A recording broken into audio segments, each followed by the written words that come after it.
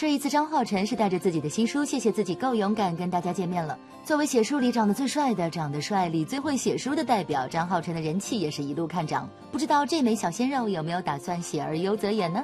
自己演倒不会，但就是我的作品都已经有一些电影和电视剧的计划了，都是可能陆陆续续会在明后年，大家都会在呃大荧幕、小荧幕上面看见。新闻在线综合报道。